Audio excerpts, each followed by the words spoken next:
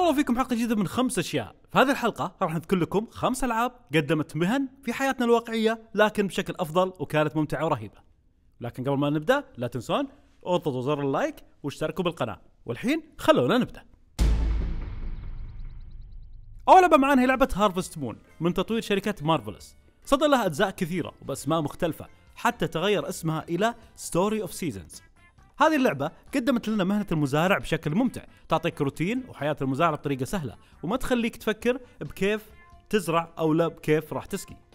يعني تخيل إنك كل يوم تصحى الفجر عشان تجمع بيض، ولا تروح تسقي الزرع وتهتم بالحيوانات. كل هذا متعب ويبي له جهد كبير، عشان كذا اللعبة نجحت بشكل رهيب، لأن بقد ما مهنة المزارع مهمة، إلا أن مو الكل يقدر يكون مزارع، وبهذه اللعبة تقدر تكون مزارع بالطريقة اللي تبيها أنت. Sega أصدرت لعبة Sega Bass Fishing على جهاز Dreamcast وتعتبر واحدة من أفضل ألعاب الصيد إذا ما كانت الأفضل. مهنة أو هواية الصيد ممكن تكون مملة لبعض لأنها تحتاج صبر واختبار الطعم واختياره وشغل كثير. وتجلس أيام وتحاول تصيد سمك كبيرة ويمكن ما تصيد شيء لكن هذه اللعبة قدمت لنا الصيد بطريقة ممتعة جدا وتعطيك أماكن وأوقات مختلفة للصيد وأحجام الأسماك.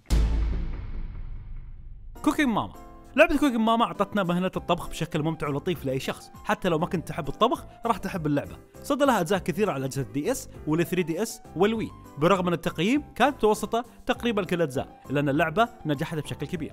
واللي زاد المتعة أن الطبخ يكون باستخدام شاشة اللمس في الجهاز، فيها تنوع كبير في طرق الطبخ، يعني مثلا لازم تقص الخضار بسرعة على شكل خطوط، وأحيانا تقلب لك لعبة إيقاع عشان تحط المقادير، واللعبة الحين نزلت على ال Android وال iOS.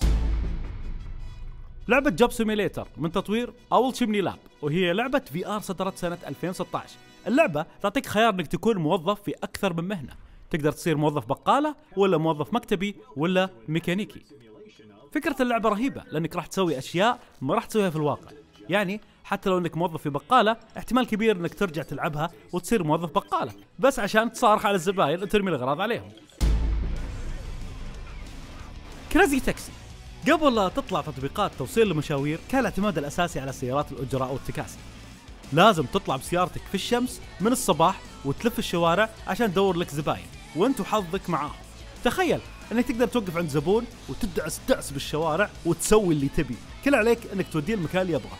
وهذا اللي قدمته لعبة Crazy Taxi من نشر شركة Sega وصدرت في الأساس لأجهزة ال arcade في سنة 1999 أول مرة تصدر على جهاز ال console وبشكل حصري كان على Dreamcast سنة 2000 قدمت مهنة التاكسي بشكل رهيب ومجنون بداية اللعبة لما تسمع صوت المقدمة Crazy Taxi والموسيقى راح تحس بالحماس.